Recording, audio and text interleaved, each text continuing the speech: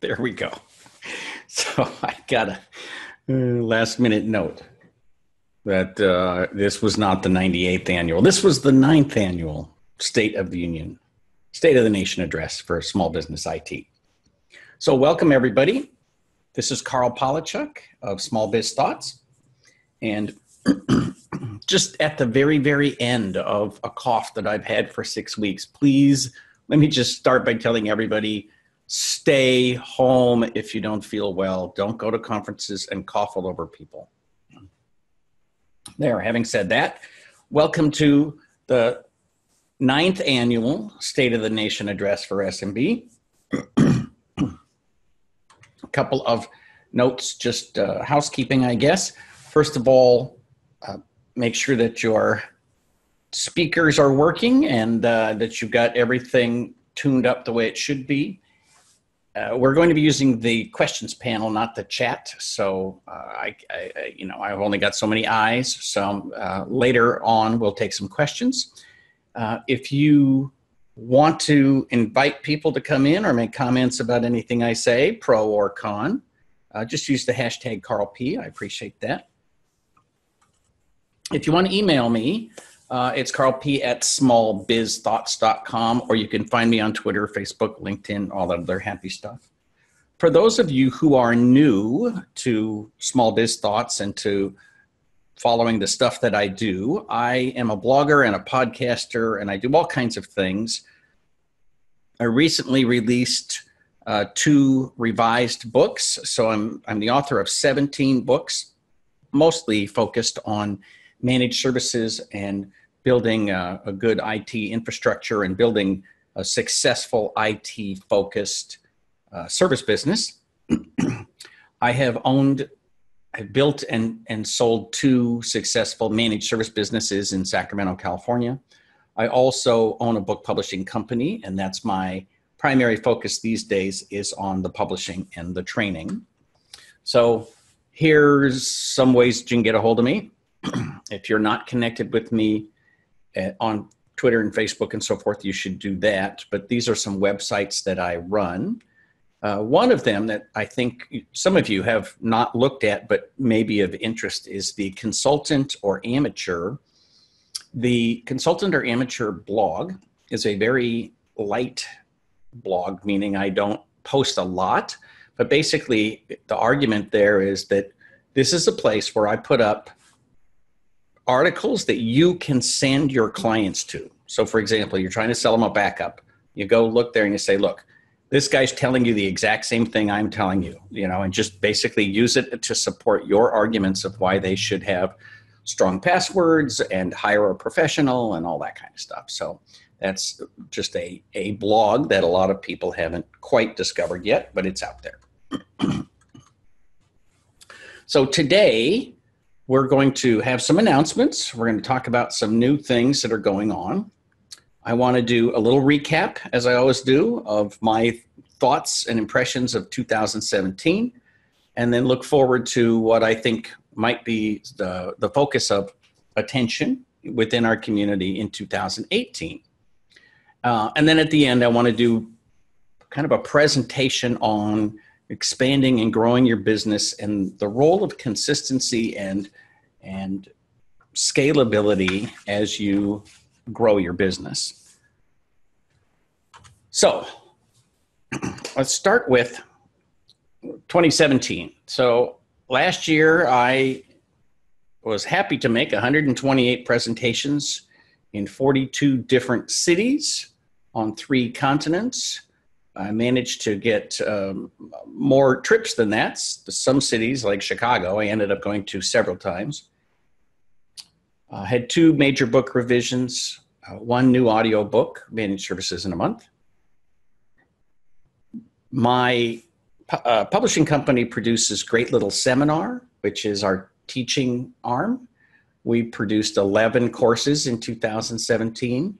Those were taught by myself, my brother Manuel, Josh Peterson, and Rayanne Buchianico. So we're going to expand that in 2018.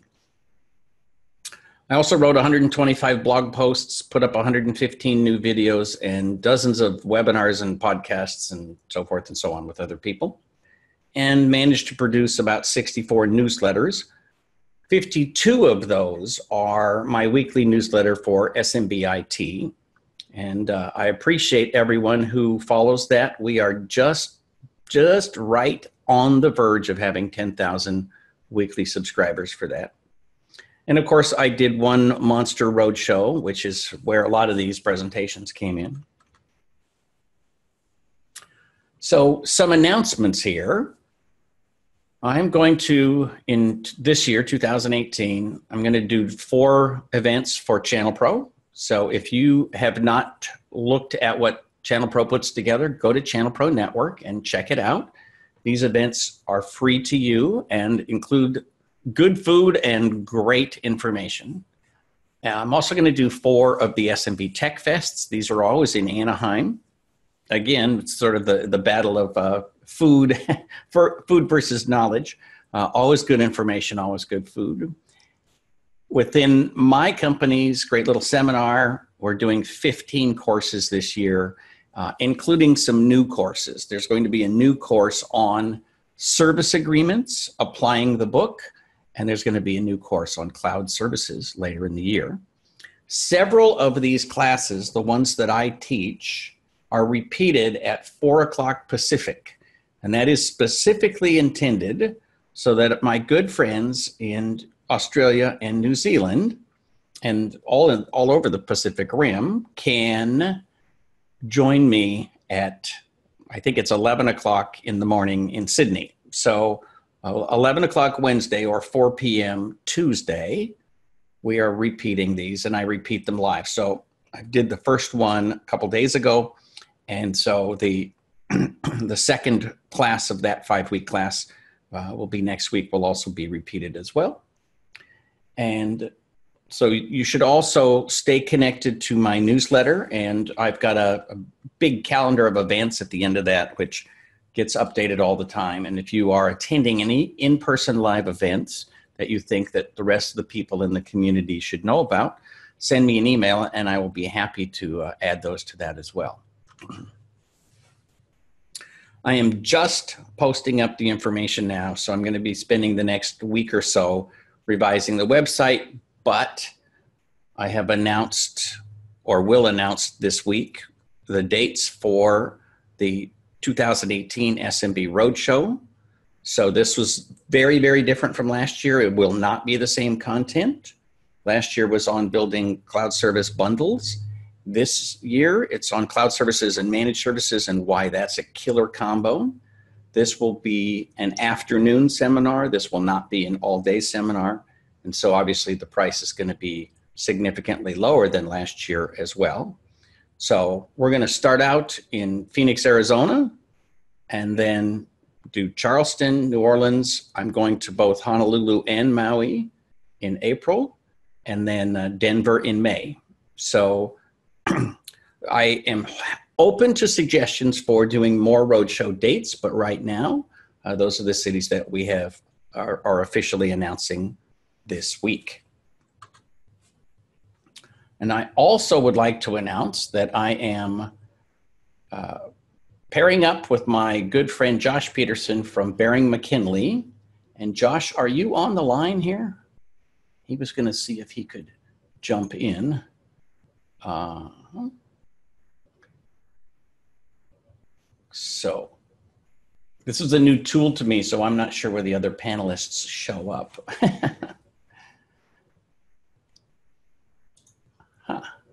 Panelists. Okay. So, I, so Josh is not here yet, but he will be here. I think he'll be here.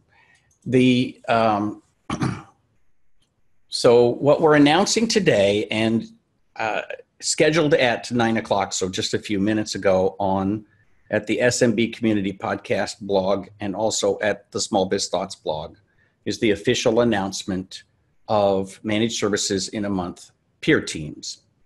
So basically, these are peer groups run by Bering McKinley. And Bering McKinley, they've been doing this for more than five years, and Josh has been doing this for um, more than 10 years. I think 14 is is the actual number. And the peer teams are intended to be something where people get together and share their experiences.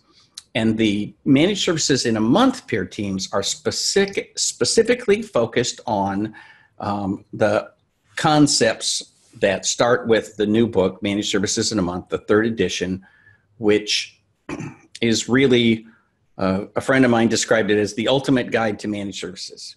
And so, uh, what happens is that Josh and his team run people through exercises to get the most out of that, to make sure everybody is held accountable for the goals that they set, setting reasonable goals and so forth. But basically, it's focused around, um, begins with the concepts of this book. And so the first thing that happens is everybody goes through the book together and talks about where they are with regard to implementing these things. Generally, the peer teams, I think, have eight to 12 members and um, meet twice a year in person and eight times or 10 times a year over the phone or, or with a, you know, video call. So it's a great opportunity to engage with other people. I think the price is very reasonable. And on both the blogs that I mentioned, Small Biz Thoughts and SMB Community Podcast, I have a link to register for another webinar next Wednesday, the 17th at 11 o'clock Pacific. Josh and I are going to talk about the specifics of this, and we're going to answer all of your questions about what's involved and um, you know what you can expect to get out of these peer teams. I will mention that even if you have a coach of some kind, joining a peer team can actually help you get more out of what you are hearing from your coach and help you be held accountable in a different kind of way. So it's not like they're mutually exclusive. There's also the, the case that many coaches, including myself, are ridiculously expensive. And so it may be more valuable to people to be involved in a peer team rather than coaching. So, anyway, that's that. I certainly will take any questions people have on Wednesday, the 17th, with regard to the managed services in a month peer teams. So let's look at the year behind. So in 2017, we saw a lot of interesting stuff. The IoT, Internet of Things, has expanded dramatically. It's a very interesting statistic I heard that there are now more IoT devices than there are human beings on Earth. And the thing about IoT is that it is it is going to be the poster child for the kind of growth and expansion that we're going to see probably for the rest of our lives, but certainly for the next 10 years.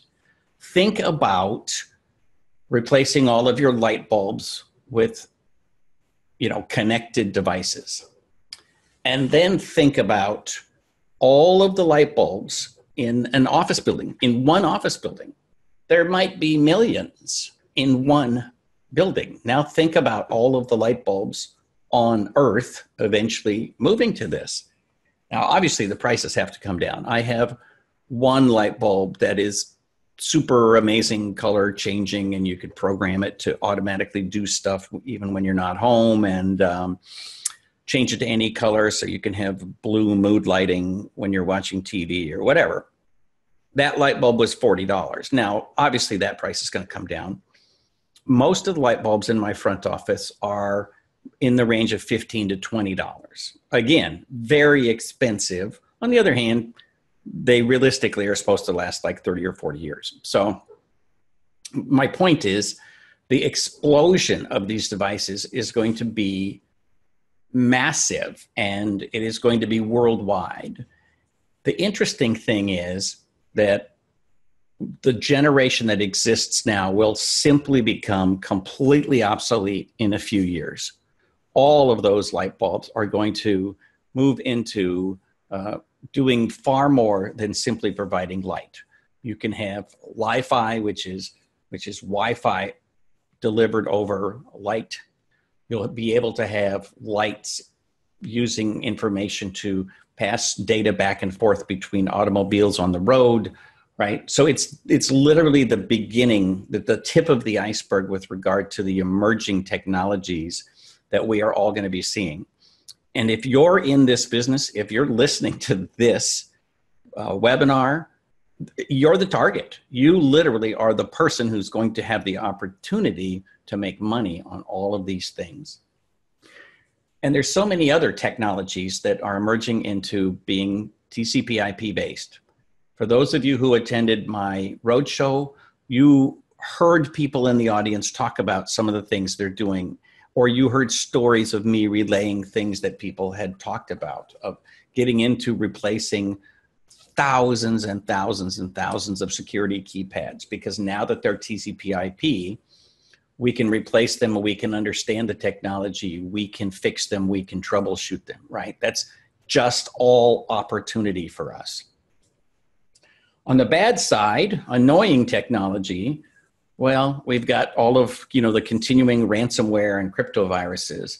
But I have to say, more and more the case is that it, it's clear to me if you patch systems, there's absolutely no excuse for people to get these viruses. 100% of the ransomware that I'm aware of in 2017 came through unpatched holes in people's systems. And this is just going to get worse and worse and worse. Literally last week, the, the Spectre and Meltdown viruses or, or security holes were announced and Microsoft and Apple have both released patches. So at this point, if somebody were to develop a way to crack in and get information using that hole, they would only be attacking the unpatched systems. This is the greatest argument for managed services that we've ever experienced. And you should be selling with that in mind. Related to some of these changes that are coming along are the, the blockchain technologies and Bitcoin. And I know people, a lot of people actually, in the real estate industry. And I got to say, man, it's like pulling teeth to get those people to move into the 20th century, let alone the 21st century. And yet, there are people saying that legal transactions, including buying and selling property, will take place with blockchain legal documents. uh, blockchain is also the the technology behind the e monetary systems such as Bitcoin. And my favorite joke about Bitcoin, when you think about Bitcoin mentality, when you when you listen in on a conversation at a a Bitcoin household, you get a sense of how fast this uh, the the value of Bitcoin is increasing the kid looks at the paper and he says, Dad, what is 8,492? And the dad says, 12,971. What do you need with 18,442? Point is, it's gr- growing so exponentially that we can't keep track of it. Um, and and who knows where that's going to go or or if it's a bubble or whatever but it is certainly something. It's not nothing that's there. There's something there. And I know people who have bought and sold things using Bitcoin. Most people, I think, that, that I'm aware of, uh, use it as an investment tool. And now you can buy indexes, and which means you can go to E Trade and buy um, e coin uh, indexes. So that's an interesting thing. And we shall see how that goes with the rest of the economy. But again, you're at the forefront. You have a better chance of even just understanding this stuff than most of your clients. So, you know, unfortunately, the, the bad news for everybody on this call is you have to dedicate to educate yourself. You have to continue to work on staying on the cutting edge because that's where the money's going to be. Uh, past due managed services. All I simply mean by that is that if you have not yet got onto the managed services train, um, it is time to do it. Uh, you you can always get on the on the bus, right? There's, it's never too late, but man, uh, I I just firmly believe that break fix is a thing of the past, and that the world is now too complicated to wait until things break, and um, it's it's irresponsible to let clients' systems break so that you can make money. Figure out how you can make money keeping those systems from breaking. That's my philosophy. So, in the last year, so we started 2017, the Dow was at almost just just under 20,000 and we finished at 24 and a half 24.7 thousand um, as somebody who has invested in the stock market since the early 90s i have seen markets go up and i've seen them come down and i was quite concerned that it was overheated a year ago and uh, it's gone up uh, 20% since then so who knows what's going to happen with the market? You know, I certainly don't have a crystal ball, but you should have a strategy. And, you know, certainly it's always better in the long term to be in the market than to be out. But if you wait for it to go down to a 20% correction and then put your money in, uh, you may be waiting another year. So, you know, there, there will be a, correction. There will always be a correction. Like there's a 100% probability that you'll have a 10 to 20% correction at some point, but no one knows whether that's going to be in an hour, a day, a week, a month, or a year. So, you know, have a strategy. You know, if you're if you're not sophisticated with investments, then find an investment advisor. And I personally recommend that you find somebody who charges a flat fee and doesn't take a percentage of your trades and doesn't make money every time you buy and sell because they're just going to encourage you to do a bunch of buying and selling.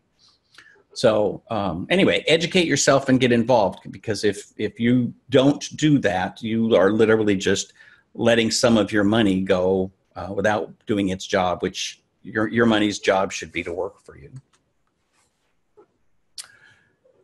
Also, our industry is changing. As I've gone around the world, I have met more young people in the last 12 months at the meetings and at the conferences and at the events than I have seen in, in at least the five years before that.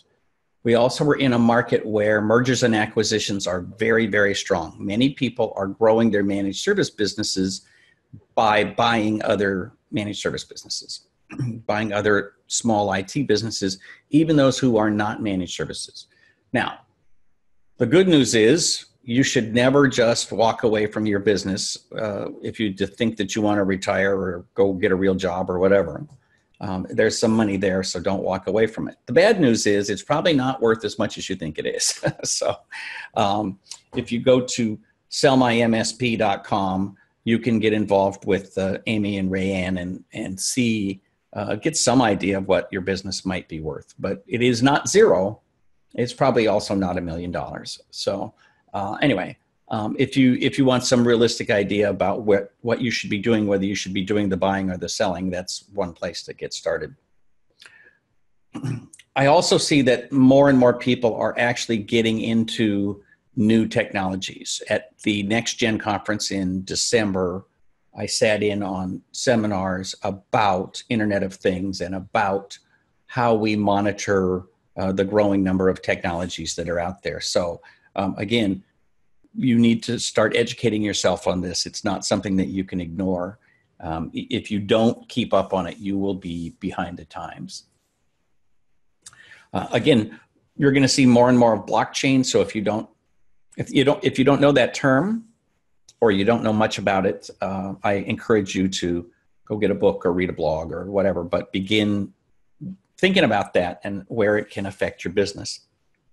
I also think that we're moving into an era where we're going to see so much artificial intelligence and so much augmented reality uh, that literally, I think in the next year, we're going to see those things emerge as common technologies that common people in, in the world actually use those terms and understand what they mean. And sort of related to all of that, we have robots we have jobs disappearing. We have entire industries in the next five years are going to disappear. You know, think about when all the, well, not all, let's say 90% of the cars have no drivers, when 90% of the trucks have no drivers, there will be a handful of people who will sit in cubicles and they will actually remotely control those trucks for the last 10 miles and probably the first 10 miles. So they'll they'll get it out of the city and onto the freeway. And then the truck will drive itself for six or eight hours. And then somebody sitting in a cubicle will park that truck and get it through the city to its final destination. But there won't be truck stops because they won't need people won't need to stop, get a shower, grab a meal, get some uh, gifts for the kids. So lots and lots and lots of jobs are going to be affected by that one industry, and that's just one example. If you go to the website willrobotstakemyjob.com, you can put in industries of your clients and find out what's the probability. And again, there's some speculation behind what these numbers mean and so forth, but you know, get a sense of what your clients look like today and which industries are not going to disappear. Obviously, you want to build clientele who are going to continue to exist in the next five years and not simply have clientele who uh, are not going to be around for a while. So, uh, in terms of the production within my company, I am hoping to get one absolutely totally new book out this year, not uh, not a re release or not a revision, uh, but a totally brand new book. So stay tuned for that. I do have the new SMB Roadshow, and uh, information will be coming about out about that. Again, look for my newsletter. We have 15 new, uh, 15 classes going on, two completely new and then the managed services in a month peer teams. So all of that is the new stuff that we are doing this year. Um, in terms of what you're doing this year, I encourage you to try to disassociate yourself from all of the anger and frustration and stuff that's going on with politics and news and so forth.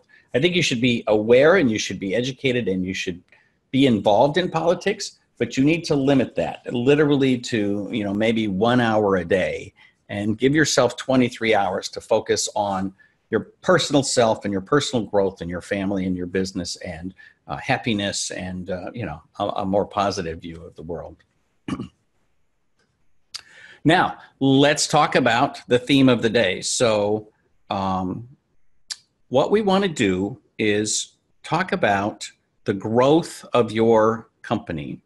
And so many people in this business have been given very, very bad impressions and, in my opinion, incorrect, truly wrong information about you, how you grow a company. And so I want to give a slightly different perspective on that. I love this, uh, this quote. All your life, people will tell you things, and most of the time, probably 95% of the time, what they'll tell you will be wrong. I think that's true with growth. I think that you have heard some really, really bad advice, and you may have taken it to heart. You may have repeated to other people. And a perfect example is if you're not growing, you're shrinking. And that leads people to believe that you need to grow your business. I think what you need to do is you need to focus on consistency and reliability and scalability. The interesting thing about scalability is that if you build a scalable business, it will be well documented and it will allow you to grow and shrink as you need. But I don't think it's true that you are not successful unless you grow the number of employees you have, grow the number of clients you have, grow the amount of money you get each year. It is perfectly okay to stay where you are for a while and figure out how to make more money where you are. I would bet, let's see how many people are on the call now, a little over 100. I would bet that there's easily 50 people on this call who, when, when they look at themselves, they think, man, I'd have made more money if I never tried to hire a, a third technician if I never tried to hire a, a salesperson, right? So forth and so on. So that is true for a lot of people. A lot of people don't want to have employees. They don't want to uh, have the hassles of dealing with employees and banks and payroll and all of that kind of stuff. So You have to figure out what's the right size for your business and how to get yourself there. We have an interesting history when it comes to small business. You know, every once in a while, there's this uh, I don't know, it's not it's not quite a fad, but you know, there's ebbs and flows of of interest in small business. And the the math makes perfect sense. If you think about it, companies like Microsoft look out there and they say, you know, in around the year 2000, wow, there's like 25 million small businesses in the United States. There's probably closer to 100 million worldwide we need to be able to design a product that we can sell to every single one of them. And so their vision is that there's millions of little dots out there. And how do they connect with the small business dots? Well, they train up IT consultants to sell and service their products. And they basically create a channel and say, there, that's my sales force, that's my service force, right? And so they sell to everybody. And the, the theory is that if you can get all of these little companies that are making uh, 5%, 10%, 20%, then you know they will sell your product times millions. Well, that's great. And that works for a while. But as I said, this is a thing that ebbs and flows. And so that only lasts for so long, and then other things come along. So if you go to the Small Business Administration, they have all kinds of information, including their FAQ, which has, um, it's now pretty old and needs to be updated, but information about what small businesses looks like.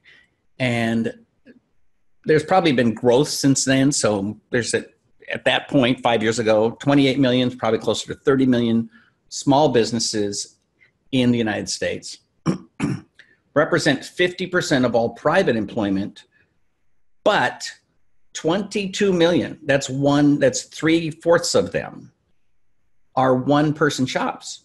They are non employers. So think about that. That so many millions of people are one person shops. They employ nobody other than themselves. And just over half of them work from home. So when people tell you that you got to grow and you got to double and you got to double some more and you got to double some more, that's not obviously the case for everybody. So when you think about it, it is okay to be that one person shop. And I wish I had the numbers on two person shops because I think that's a far more common thing. So what happens is that we make a bunch of money for these big companies and I, am not trying to pick on Microsoft, but you know, it's true with Intel and HP and Dell and everybody else. They all want to, they love small business. They want to engage in us. But then a lot of them look and see, wait a minute, if I cut out the middleman, right? This is called disintermediation, right? You're the intermediary. So disintermediation means they're going to cut out the person in the middle and now essentially, why would they care about small business? Because their numbers have grown too big. When you think about what's happened within our own industry, a lot of the vendors that you see at the shows, when they started out, they had 100 partners, and then they had 500 partners, and then they had 1,000 partners. And so then you look at how many endpoints they support and uh, you know it starts out with a thousand and then 10,000 and then a hundred thousand. But when it gets to millions when you're supporting tens of thousands of partners and millions of endpoints especially if you have venture capital then you start looking at kind of the big corporate view of the world which is i need 10 15 20% growth per year well, if you are looking at millions of endpoints, coming to somebody like Karl and saying, okay, you support uh, 2,000 endpoints, that's not big enough to make a blip on our radar. We are not interested in the smallest partners. We need bigger partners. And so they take less interest in us, and we have to figure out how to make money without them being engaged in that love affair. So, what happens after that? Well, interestingly enough, eventually somebody does the math again, and the entire cycle is going to start over. And when people look at it and they say, think of all the people who are installing the IoT devices and the security devices and the artificial intelligence devices into hundreds of millions of homes in countries all over the globe. We need to figure out how to get a piece of that action. How do we do that? Well, we have to befriend all of those little cl- companies because if every company has a thousand homes and every home has a thousand light bulbs or whatever the IoT devices are, then pretty soon that adds up to real money. And so the cycle begins again, right? And it's it's this constant up and down, up and down of um, taking one perspective of small business when you zoom out and look at all the millions of dots, and then zoom into a, a different perspective and realize, oh man, all right, we can't sustain our growth. Luckily, in IT, there's always somebody inventing new things, coming up with new stuff. And so there's never a shortage of ways to make money and to engage people. One of the reasons people like me love the channel is I love companies who have dedicated themselves to only partnering with people who will become their sales force and their support system. And so when they say, I'm not going to compete with you, I'm not going to sell directly, that's a huge, huge piece of the action, right? And it's impossible to have 100% channel focused vendors, but it's very possible to have 80 or 85, maybe even 90% of your vendors be 100% channel focused. So that's just, that's a bias of mine. And uh, I, I assure you that that will affect my potential revenue from um, the uh, vendors who may or may not be watching this. So, this book, I love this book. If you haven't read it or listened to the audio program, I highly encourage you to go get it. So, the the Millionaire Next Door is old. You know, the the first chapter desperately needs to be updated with modern numbers, but the basic message is super, super cool. I always think about this book when I go to the cleaners. So I have my shirts laundered. And so every week I take my shirts in and not just the cleaner I go to now, but almost every cleaner I've ever gone to. The cleaner I go to now is run by a man and wife team. They have pictures of their dogs and their vacations up on the wall. They've never had an employee. They've been in business for 30 years. They've never opened another office. They've never expanded to a different state. They have never had six locations so that they can get more money and more money and more money. They work probably 10 hours a day, six days a week. Um, but they are literally the perfect example of the millionaire next door. They don't drive fancy cars. They buy a new car every 10 years, not every other year.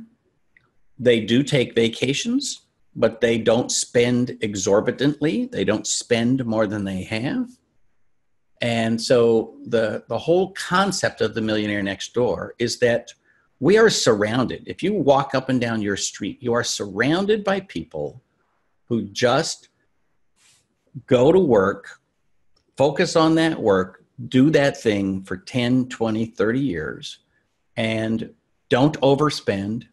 And they put a bunch of money in the bank and they have, they, they're happy to have the right size business. Now, I'm not saying that's the right thing for every single person on this call. My point is simply that's a legitimate way of looking at your business and your life and you do not have to go into the growth spiral.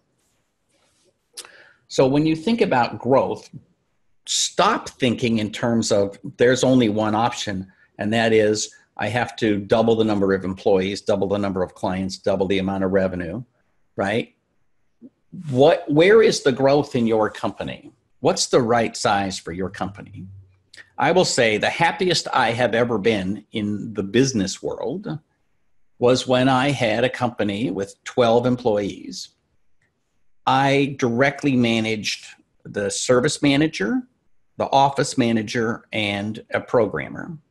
The office manager directly um, managed the administrative assistants and accounting.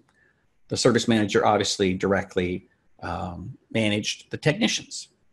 And that was for me just the right size company. It was just perfect in terms of being able to do the jobs we wanted to do, take on the clients we wanted to take on. We didn't bid on super monster big jobs because it would mean that that the, the tail would be wagging the dog, right? That that company would then completely dominate the way we have to grow our business.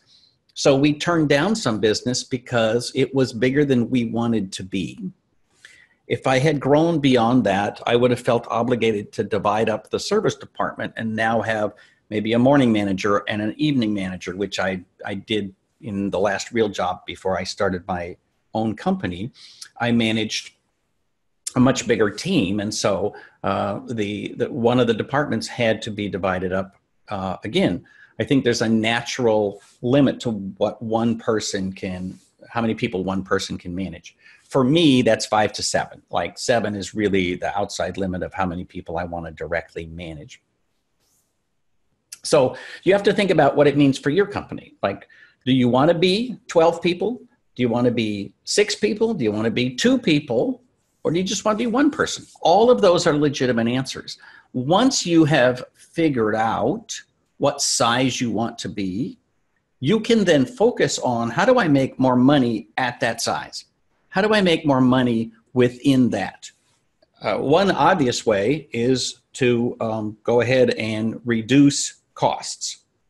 You know, one, one of the things that my office manager for eight years used to do every single month, she would pick one thing and try to reduce the cost of that one thing. One time it was office supplies, the next time it was uh, insurance, and the next time it was mileage that we paid technicians, and you know, on and on and on. Uh, any anything where you spend money is a legitimate place to look to see if you can save some pennies. You also have to understand that you're in an ever-changing environment. Not only could you not replicate the business I had when I had the perfect 12 person business, I couldn't replicate it either because I have different technicians, I would have different clients, I would have different products and services, right? You can't go back. You can never go back. You can never stop. That's true. You can only go forward. And you can either go forward with intention about how you want to build your business, or you can go forward simply responding to the environment around you and bouncing around like a ping pong ball. Obviously, my goal for you would be that you go forward with intention and figure out ways to increase profit. So, one of the myths of growth is that you have to constantly be adding clients, adding revenue, adding locations, all that kind of stuff. Um, I just simply think that that's not true. And again, I would say half the people on this call when they look around, they, they, they realize, man, I made as much money with one employee as I made when I was by myself, right? Because if you think about it, there's a simple math equation.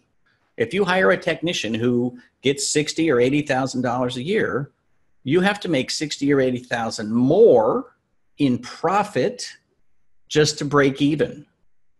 So you will never grow your business more than the day that you hire one employee and double your business right?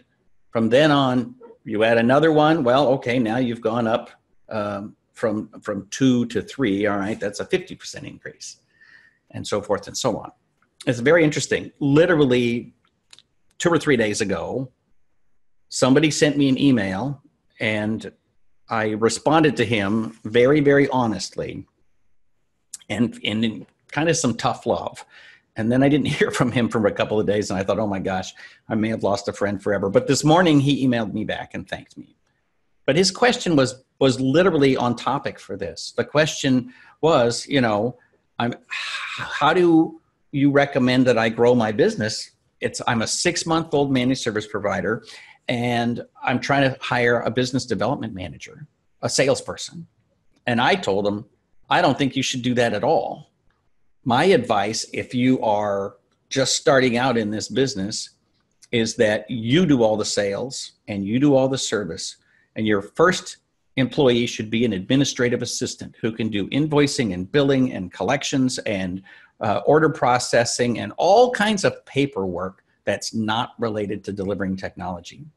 And I've given this advice for, I don't know, 15 years. I would give this advice more strongly today than ever because most of what we do in cloud services has nothing to do with technology. Setting up 50 new email accounts for a client is an administrative task. It is not technical, and you should not be charging or you should not be paying somebody sixty or seventy thousand dollars a year to do that. You should be having an administrative assistant do that. And then I told him I think your second employee should be a technician. So that way you can start, and if you can do it, a, a part-time technician, but certainly uh, start handing off some work to somebody, train them up on your processes and your procedures having a technician forces you to uh, document your processes and procedures because that's part of your branding. So if you want to grow, that's the way I would do it. Start with an administrative assistant, go to a technician, do the sales yourself. And to be honest, I personally don't think that you should hire a salesperson until you are right in the neighborhood of a million dollars in top line revenue. Because that's that's the point at which you will have enough money flowing through the system to be able to siphon some off and pay somebody who is not bringing in revenue for quite a while. It takes a long time to get a salesperson up to speed. And if they want to make, say, $100,000 a year, they need to sell a million dollars in top line revenue in order to bring in $100,000 in commissions. So unless you're at the point where you can add a million dollars worth of services and deliver them without hiring another technician, you're in no position to go hire a salesperson. Much better to uh, to go talk to um, Vertical Axion, you know Herman Poole or uh, Robin Robins, and figure out how to create an inbound marketing system that works. And you know that's that's the way that I recommended that he grow. Now that that advice isn't necessarily true for everybody, but I think it's true for a lot of people in this business. This idea that you have to hire a salesperson. You don't. It's your business. You can do whatever you want. But you need to do it with intention and you need to have a plan as you look forward to 2018. How will I grow my business? How will I grow my profit? Because at the end of the day, the amount of money that you get to keep is the single most important piece of it. And if you end up giving yourself a heart attack or um, literally just unbalancing your life and your kids don't know who you are, that's a big, big problem. And uh, I h- had a great conversation with a good friend of mine recently uh, who was talking about he literally remembers the day he decided that he needed to spend more time with his family because of a very specific conversation he had with his little girl. And if you find yourself in that position, you have to remember that the goal of your business is to fo- help you follow your dreams. The goal of a small business is to fulfill the dreams and wishes and desires of the owner, period. It is not to meet the sales goal of Ingram or Cix or, or anybody else, right? Intel, Microsoft. Don't let anybody else tell you what your goals should be. So some people will tell you you have to have an unbalanced life. You have to. There are actually people I see people put stuff on Facebook that says, you know, forget balance. Balance is bullshit, right? Well, I'm sorry, balance is everything. And the people who uh, make that claim the loudest tend to be the people who've already unbalanced their life and figured out that they need to spend more time uh, being balanced, but they still put up that smoke screen that that balance is bullshit. I also think that it's a total myth that sales is the most important number. If you have somebody selling the wrong thing, not making profit, selling it to the wrong clients, and then you've got churn, you've created all kinds of disasters within your own company um, because you're not selling the right thing to the right people at the right price. when you are selling the right thing, when you've got it nailed down, you know, one of your, your, your great packages of managed services or cloud services, that is where you get on a roll and you just rinse and repeat for the next 10 or 15 years. So, another um, myth is that you have to look big. The truth is that when you are doing business, what you find is that businesses like to do business with other companies that are about the same size as they are. So small businesses like to do business with other small businesses. So, Mr. Josh, are you on the line here? I happen to be, Karl. Okay. So I'm going to remember the screen, but I'm going to zoom back to. I heard that clicking, and I was like, is there something wrong with my hard drive? That would be me, and I'm sorry. All righty. So for the folks who uh, were here earlier, uh, this is Josh Peterson on the line, and uh, Josh is the one who runs Bering McKinley and will be managing the managed services in a month peer teams. Mm-hmm. So give us your 30 second spiel here. Oh, wow, sure. Um, well, we, are so excited, Karl. Uh, it's all we've been talking about over here at Bering McKinley for uh, about the last two weeks, just getting everything ready and to welcome all your uh, great participants and the folks that have been paying attention to managed services in a month and all the things that you are working on. I loved coming in on that slide about sales myths. Those are awesome. Uh, we're ready to, to bring you guys all into our peer team environment. It's all about accountability and education, and it's all about really having a playbook uh, that Karl's provided over so many years with the managed services in a month. You're going to sit down and work with with people that are playing from the same uh, you know set of rules that you are. So we look forward to building this community of folks that have read managed services in a month and come in and, and can really participate at a level where they understand where they want to go and what's really possible for for them. When you get in that peer team environment, you've got you know, nine other guys in your group or nine other guys and gals in your group who are trying to build a business that makes sense for them and that makes sense for their for their financial health and well-being and just their own you know personal lifestyle so there's not a one size fits all it's how are you doing it? Are you getting the results you want? And are you able to learn and, and help someone else next to you achieve the same for themselves? And just so folks know, I met Josh because he was the team leader for a peer group that I was in many years ago. And not only am I still in touch with Josh, but mm-hmm. I'm in touch with several people from that peer group. So uh, it, it, it, made a permanent positive impact on my business and on my life. I will tell you that. Yeah, for sure. You know, we I've been facilitating peer groups and peer teams for about 12, 13 years now, Karl, and I can't tell you the number of times we've heard exactly what you just said, where you meet these people, you know their businesses, you know their financials, you know their lives, and they become your resource network for uh, for forever, really. Um, in fact, the the group that you were involved in, Karl, that group, many of those same members are still together after all these years. They are actually still in a in the same exact team and group. Well, maybe we can all go back to New Orleans and have another. Uh, that sounds real good.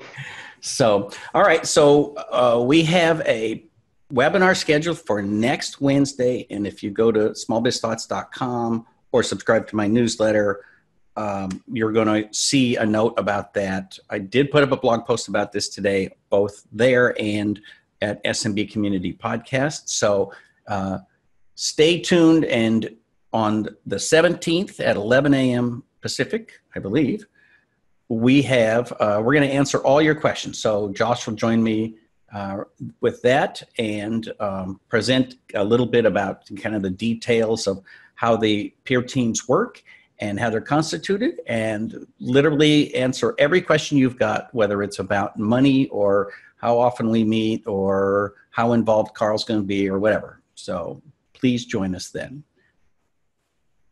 All righty. Thank you, sir. I appreciate you joining us. Of course, Karl. You mind if I stick around and, and, and watch the rest of your, your presentation there? I don't mind at all. all right. I look forward to it. Thanks, Karl. All right. Thank you. Okay. So back to where we were. so some of those myths. Now, in terms of what do you want your business to look like, it took me a little bit to find somebody walking up the stairs here, but I think you need to look at the growth of your business in terms of stair steps, right? That you might stay at, say, two or three people uh, for years, and and that might be uh, all you ever want to do. Um, and then at some point, you get a new technology or you get a new product or service, and then you say, "Oh, we need to go to the next level." Okay, and for you, the next level might be opening a second office. It, you know, it might be intentionally going to a different city. Uh, there's somebody who I happen to know on this call who literally, for lifestyle purposes, decided to move to another state and continued to run the, her old business in one state while she lived in another state and started another business. Not not another business, but basically another branch office. So that is becoming more and more manageable in the 21st century. You also have the case that an employee doesn't have to sit across the, the table from you or across the room from you. So I have a handful of employees now. it's so funny. Uh, just just through a series of events within my business, I went from having one part-time employee to having four part-time employees, and to having outsourced resources in other countries. And so this year looks very different than last year, but given where I am and what I want to do and who I want my uh, clients to be and who I want my, you know, what I want my workforce to look like, that's the right combination for me today, right? So again, if you're the owner, if you're the manager, think about what's the best fit for you. And for some of you, the answer is I want to be a one person shop, I want to be a two person shop, I want to be a three person shop. That is okay. So when you go to these conferences, and some of you have been going to conferences for 20 years and hearing people talk about grow, grow, grow, grow, grow, you, you've already learned how to think of it and filter it in terms of forget that how much profit, and I'm going to spell much correctly from now on, but how much profit do I want? And you can make a lot of profit as a one person shop. I've had more than one person send me notes about being able to figure out how they can bring in between 250 and 300,000 dollars as a sole proprietor, a sole sole proprietor, a non-employer. So, you know, it is possible. It is it is quite quite manageable. And again, in the 21st century, it becomes easier and easier. You also have to think about what's your exit strategy, right? um, some people intentionally what th- their goal is literally start the business grow the business get it to a million dollars sell it for a million dollars and then go on and do the next thing well again you need to go to sellmymsp.com and talk to Rayanne and Amy and sort of begin the discussion about what your business is really worth.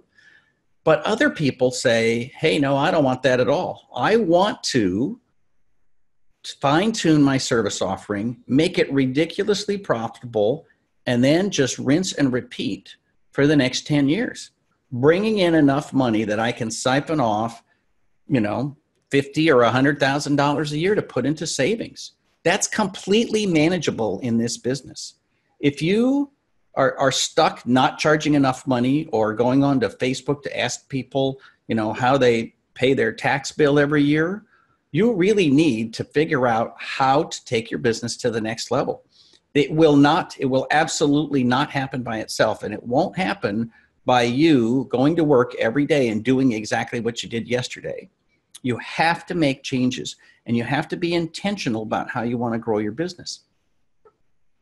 Um, you also get to make all kinds of choices about what you want to sell and how you want to sell it and, and how you're going to grow. So, again, you, you know you have to learn to start thinking in terms of long term what do i want? What's my exit strategy? How do i get there? Right? Uh, i've told the story before but when my one of my brothers came to visit me one time he looked up and i had this is literally 15 18 years ago i had a, a big number written on the wall in my office and it was it was the number 1 million 1 0 0 0 0 0 0 and he's he asked me what's that and i said that's the number and he said, What's what number is that? and I said, Well, that's the number that Uh, first, I want my net worth to get to that number. And then, second, I want my available revenue, my, my available money to get to that number. Because net worth, you know, you live in California and pay your rent or pay your mortgage long enough, uh, you will be worth a million dollars, but that doesn't mean you can spend it. So it, it was literally, it, it was hard and it took me dozens of years to get a net worth of a million dollars. And it took me one year uh, for about half of that to go away. So, uh, and, and it's, it's been a rough climb to rebuild that.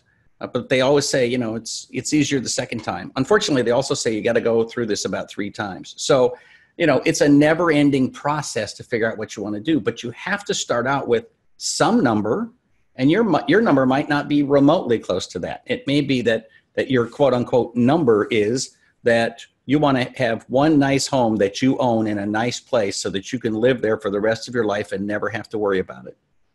Right? It may be that what you want to do is retire and run a charity in another country.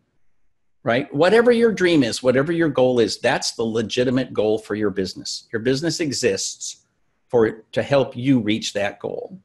And so you got to figure out what does that look like and then it becomes clearer oh, to get that, let's say your number's 3 million, right? 3 million cash. All right, to get that, you have to have a certain kind of company that produces a certain kind of revenue that sheds off a certain amount of money every year that you don't spend on RVs and vacations, right? And and once you put that system in place, you can reach it. But you have to have that goal. You literally have to write it down in order for it to happen and you don't have to have all the details. You know, I'm a huge fan of, um, uh, you know, the the one page business plan, right? That you know, it it takes about one page of information and, and diagnostics for you to figure out what your business should look like. You don't need a 30 page business plan unless you're going to Bank of America to ask for money. So, what does make your business successful is to focus on consistency and scalability. The interesting thing is, scalability doesn't require that you grow. Scalability requires that you are capable of growing. And, and here's what I mean by that. If your business is scalable, it means you have standard operating procedures that you could get six people from your IT pro user group to help you do a big job, hand them the instructions, and everything goes perfectly right? And then you go back to being whatever you are now one, two, three person shop. And so scalability is is the process of creating something that can be reproduced again and again and again. It goes hand in hand with consistency. Scalability is simply the, the capability of reproducing your success again and again and again. And you know that that whole concept of standardization is really about branding, right? Branding is not your logo, right? And and again, a couple years ago, I did this presentation where I had a, a picture of the Volkswagen uh, smog test, and it's just the entire screen is covered with smog. And because of the issues that Volkswagen was having about cheating on smog tests, the results said, you know, that they passed the test, right? But Volkswagen's logo didn't change, but their branding was dramatically damaged by having their engineers cheat on designing a car that figured out when it was being tested for smog test and lying to the instruments. And so the engineers not just lied to the customers, they lied to the salespeople, they lied to their bosses, they lied to the management. Somebody somewhere approved having that system be put in place. So imagine if you spent, I don't even know what it is, millions of dollars buying a Volkswagen dealership, and then this comes out, and now you're going to spend years backpedaling and apologizing and promising people that that will never happen again and so forth. That's all branding, right? That my point is every single thing you do in your company is branding not just your logo. So the way that you greet clients, the way that you manage your first job, the way that you onboard people, the way that you deal with problems, the way that you install patches, fixes, and updates, uh, the way that you bill, right? Every single one of those things builds your brand. And nothing will make your company more valuable when it's time to have an exit strategy than to have a consistent set processes and procedures so that people can look at it and they say, I like the way that that company does business, right? That's where you need to put your focus. And if that means that you need to grow to six people or 12 people or 100 people, then you should do that. But you shouldn't do it because somebody in another company said, oh no, we need 20% growth for you to continue to be our partner. One of the interesting things that somebody said to me recently is that the most important piece of their strategy for success is having the right partners, right? Not just vendors, but people that you do business with, people who are uh, suppliers, people who are technicians, people who are outsourced resources in other countries, right? All of those partners are what in the in the project management business, you know, they they talk about people who are invested in the project, and it doesn't mean that they're the boss, doesn't mean that they're the owner, right? But they have some um, something at risk in that project, whether it's their job or whatever. Uh, and they call them stakeholders, right? So your stakeholders include your clients as well as your uh, employees and your vendor partners. So all of that is about how you build your company and how you do it with intention. um, I also think that you should focus on cash flow and profitability. And to be very honest, I've done coaching in this business for years and I have trained tens of thousands of technicians. People don't pay enough money, pay, pay enough attention to money in this business. I know a handful of people that I can look at and say, you know, I know for a fact that he knows what his bank balance is. But most people that I meet don't. I'm shocked at how many people are running $1 million businesses and they look at their finances every three or four months it, it is literally the case. If you just opened QuickBooks and looked around a little bit once a week, you would start making more money it, without specifically doing any one thing, but just paying attention to your cash flow. And by cash flow, I literally mean you should create an Excel spreadsheet that says, here's how much money I expect to get between now and the next paycheck, the next payroll, and between that payroll and the next payroll and here's how much money I expect to spend on bills between now and the next payroll and the payroll after that, right? What is that cash flow? How much money do you have in the bank now? How much is going to flow in? How much is going to flow out? And then payroll. How much is going to flow in? How much is going to flow out? And then payroll, right? When you focus on that, it automatically gets better. And it's it again, it's not because you specifically make decisions, but it's in your brain and it's it's there and so many people in this business are kind loving wonderful amazing people and they focus entirely on giving spectacular service which is cool except when it makes you unprofitable you also have to be a business person you have to focus at the end of the day of how much money you're able to keep and put in the bank uh, and that's got to grow year after year after year. And if you have a negative cash flow and you are putting money on a credit card in order to uh, run your business, you need to take care of that immediately. And, and however you need to take care of that, you need to figure it out. And paying attention to your cash flow is the first step in that. So, um, as we begin the year, I ask you, what's your business model? What do you want to do? Uh, do you want to be involved with a partner who works through the channel? Do you want some to work with people that you are reselling something where they have a direct relationship with the client? Do you want to do break fix, managed services? I think we all do some combination of all of these things. Um, I think you need to focus on the fact that we are deep into a period of disintermediation. And so, you know, it's, it's one thing to whine about, you know, Dell competes with me. Dell's always competed with you.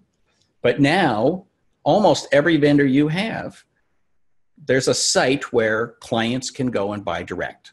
So, how do you sell against that? How do you partner with the right people on that? Because you are the intermediary between the product and the client. So, uh, disintermediation just means that somebody's making money cutting you out of the picture. But you also live in an era where all of your opportunities are expanding at, at the speed of light. So, you know, choose a business model that works for you and make that happen. The good news is everything that you need to do is in the future. None of it's behind you. Whatever, however you got here is irrelevant. You have to create your future. You have to decide what you want your business to look like, and you have to start moving in that direction one step at a time. So, my goal, to be very honest, I literally have a written goal to help myself and help others to be more successful in their lives. So, that's what I do. So, that's I hope that you will do me the honor of following my blog posts and subscribing to my newsletter and, um, you know, engage me in a discussion this year about the things that can make your business more successful.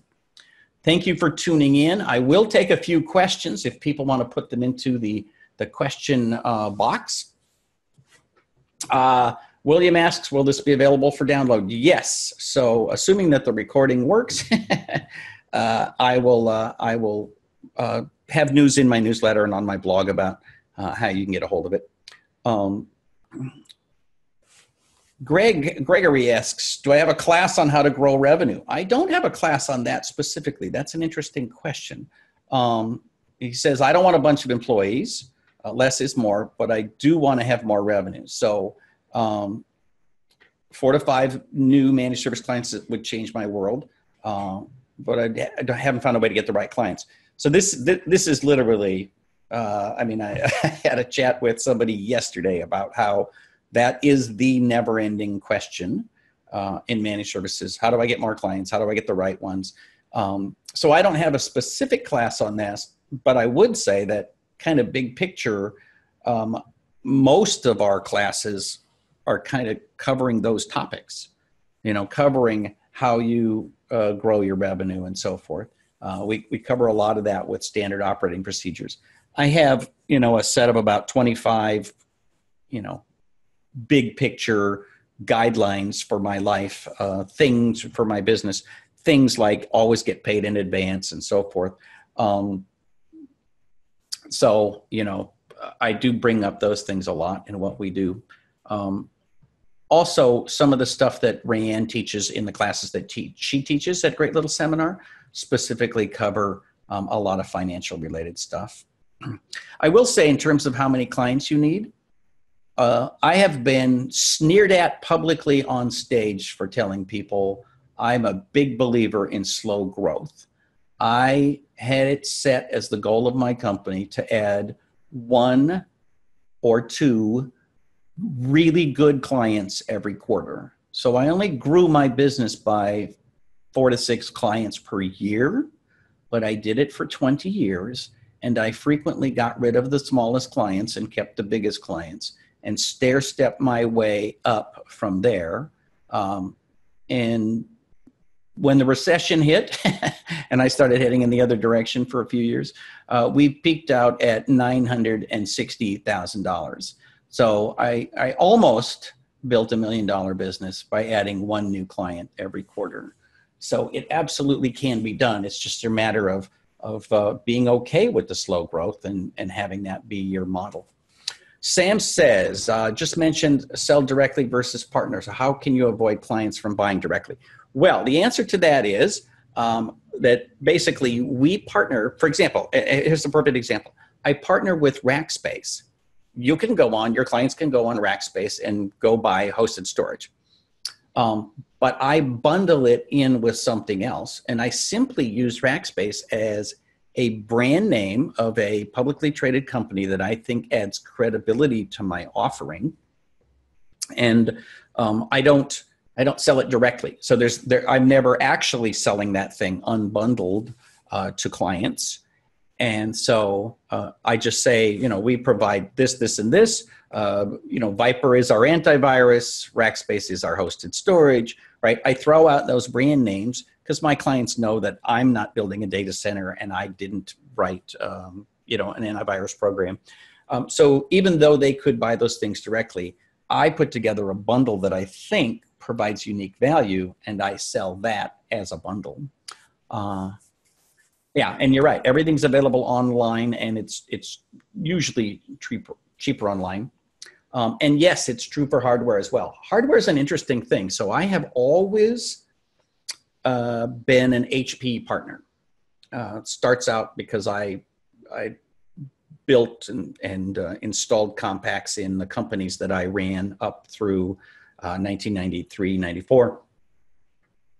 Um, but anyway, um, you can go online and you can go to HP and you can get pre-configured amazing things and go click, click, click, and it shows up right at your doorstep. Generally speaking, you can buy a very similar machine from me for about 20% more. Um, I insist on marking everything up from whatever my wholesale is, I mark it up 25%. And the result is that it looks the same um, as what they can buy online. But I tell the clients it's not the same. Like when you go online, you don't know what the level two cache of that machine is. When I buy it, I do know that I'm selling you a machine that doesn't have zero level two cache. And I've had a client have that exact same experience where they they went direct and said, "You were going to sell me the same thing," and I said, "No, I will not." Right? I'm to I put a premium on my prices because I, I do the research to guarantee that you're getting the right thing. And uh, I've always been more expensive than what people can pay online. So I'm, I have no fear of that. And I, you know, if, the other thing is if people want to go direct for things like hardware, I tell them that's great. Uh, I will sit down and help you guarantee that you buy the right thing. And then I'm going to send you a bill for $165 for an hour's worth of labor. Uh, Jason says it's difficult to sell whatever as a service to clients. Uh, many don't seem to get it. Any advice on how to get them to understand why it's important to just move to the uh, client who understands it, or, or, to just move to the client who understands? Well, it's a it's a 50-50 battle. So I personally want to engage completely in the whatever as a service. I want to sell my cloud bundle or or whatever bundle I'm selling and clients who don't get it or who say, you know, I don't pay monthly fees or whatever, I literally say, uh, okay, that's fine. I will help you find somebody else. I, I will not be tempted down the road of clients who have to be talked into what's good for them. Right. So I'm going, I'm going to sell what I sell. And uh, I taught a class a couple days ago. And one of the things I talked about uh, in the class is that you literally have to figure out how you want to do business and then go find people who want to do business your way. And I would say in 90% of the markets in America, and I and and probably in England and Australia as well, um, there are enough people in your community that you will be able to find enough people who want to do things your way. Now, again, if you have, let's say that you have contracts and yet you, like for me, I want a client who's going to figure out a way to give me at least a thousand dollars a month. That's big enough to be on my client list. So gradually, as you say, well, I'm only going to take on clients who are over that. Um, you begin to grow your business with the right size clients, the, the people with the right attitude, the people who are willing to take your advice, the people who have some money to spend. And also, what happens with that is that gradually over time, you become a little more, I don't know, sold on the concept that what you're doing is the right thing because you get more and more clients who want to do that.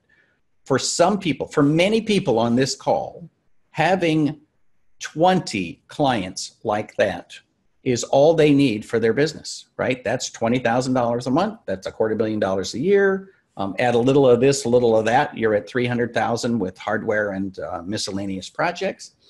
Um, and for, again, probably half the people on this call, that's all you need to do uh, to have a very comfortable business that's very sustainable for 20 or 30 years. Um, if you focus on bigger clients. There are also people on this call that they don't even look at jobs that are under 100 desktops. That's cool, but that means you have to have the staff to support that. Again, you have to right size your company and then go find the right clients. Um, you know, and and don't forget, we always talk in generalities here, but you could specialize in manufacturing. You could specialize in medical. You can specialize in legal. You can specialize in all kinds of things that then bring you more and more money. Uh, I, I held my last SMB Roadshow in Las Vegas at the offices of my friend Mark. Mark focuses on car dealerships and he has figured out ways to sell them pretty much anything that has a spark of electricity in it uh, or is used by something that has a spark of electricity in it. Uh, you know, he sells, he has a completely separate company that all it does is refill toner for uh, car dealerships, right? So, you know, there's so many ways to make money. You know, that's the beautiful thing about the 21st century.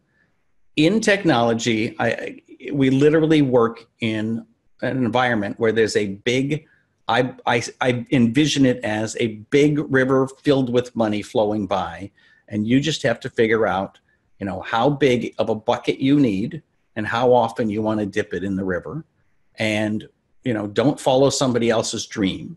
It needs to be your size company, your size bucket, the amount of money you need. Um, and you know, as long as you don't think you're going to make one big sale and get rich overnight, as long as you are willing to say, I have to work for 10 or 20 years or 30 years, I have to work to make this money, as long as you accept that, you're going to do just fine. So I think that's about it for the questions. And uh, we still have over 50 people on the line. I'm honored that you would spend your time with me. So, um, and we are way over an hour. So I thank you all for your interest today. I promise if you get my newsletter, you will find out everything you need to know about classes, peer teams, roadshow, and uh, where to find the, the download for this recording. Thank you very much. I wish you all a spectacularly successful 2018, and I sincerely ask you to email me if you have any questions. It may take a while to get back to you, but I actually have a folder in my Outlook called um, uh, respond at some point. so, so if you send me a question, if it's short, I'll probably answer it right away. If it's really long, I'll I will respond at some point. With that, I wish you a spectacular 2018, and uh, I look forward to meeting each and every one of you on the roadshow. Thank you, and goodbye.